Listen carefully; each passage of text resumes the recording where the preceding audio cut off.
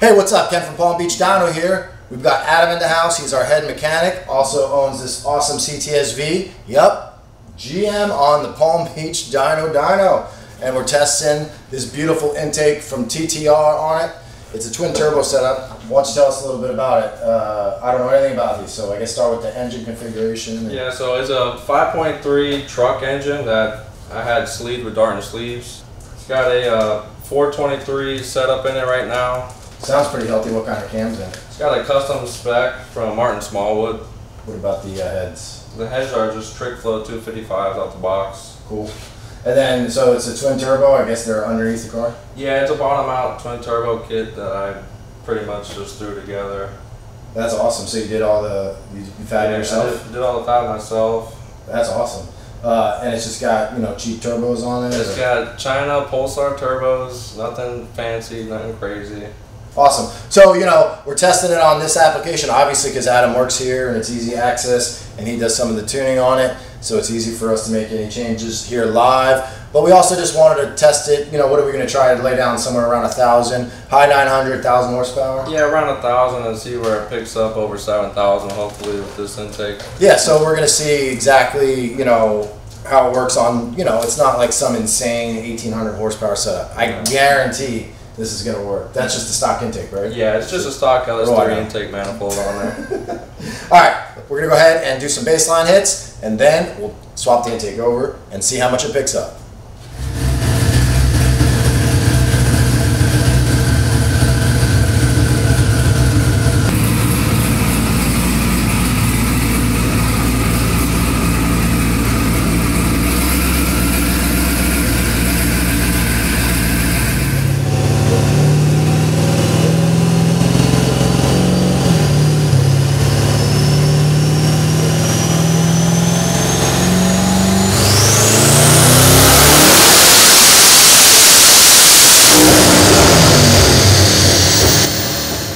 All right, 987, 912, showing a peak of 17, but it looks like we're getting a little bit of boost creep or boost is rising with RPM.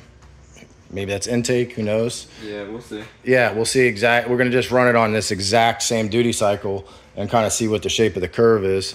But saying 17, but if you look at peak powers at 65, it's really making closer to 16 psi, and that's probably about or even before there where we're hoping to see it just do that. So let's get the intake on, see what happens. Getting it all set up. A little limp there. That's all we can come up with for now. That should work okay. This is just for test. Uh, what we did on the GT500 manifold is we had them add a spot for a map sensor, so uh, we'll go ahead and do that on next versions. All right, Adam got it all ready to pull the manifold off, so here we go. Those may be wondering in the Ford world why this pipe is so large. It's uh, because uh, it's tuned with mass air, and it's just easier to go with a larger pipe and use the stock mass air. But we might have to get PMAS involved in that issue. All right, well there they are. Obviously, very, very, very different intakes.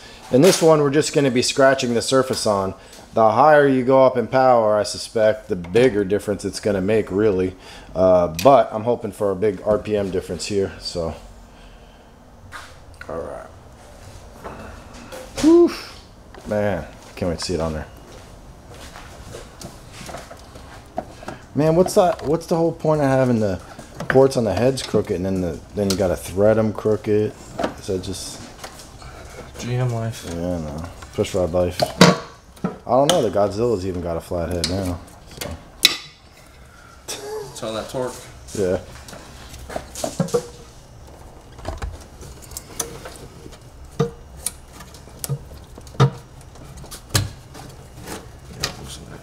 All right, Adam's got the intake swapped on this unit, and man, it looks phenomenal on there. Let me back up a little bit so you can see the whole car. Looks really, really killer. It's got a carbon fiber hood on there to match, but let's see what kind of power it makes.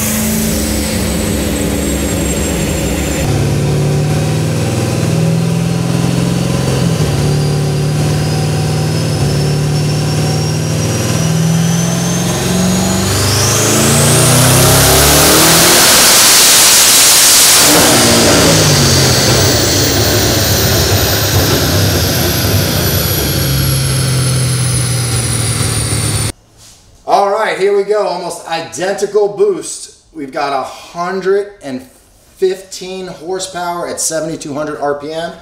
And even at peak power, it went from 987 to 1064. That is uh, 67, 77 horsepower. Just a manifold.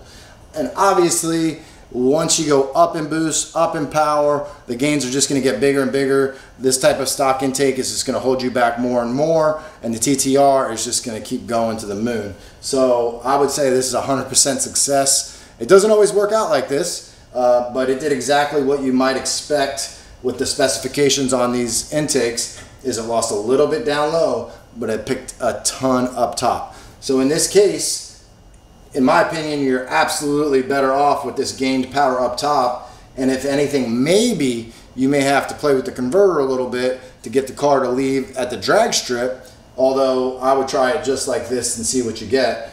Uh, if you look at just the torque curve, that tells you even more of the story, which I like to go by horsepower curves more than anything. But when you look at the torque curve, it's not so much that it lost torque. I mean, it lost compared to the other intake, but you can see the stock intake's got a peaky torque uh, torque band and then it falls off. This is, you know, from say 5,000 all the way through 65 and even 7, it's fairly flat, which obviously is reflected in the horsepower. So anyway, I hope you guys enjoyed this testing video. Thanks to Adam for doing all the work. All I had to do was videotape and talk. That's something new for me. Uh, like the channel, share it with your friends, and we'll see you on the next one.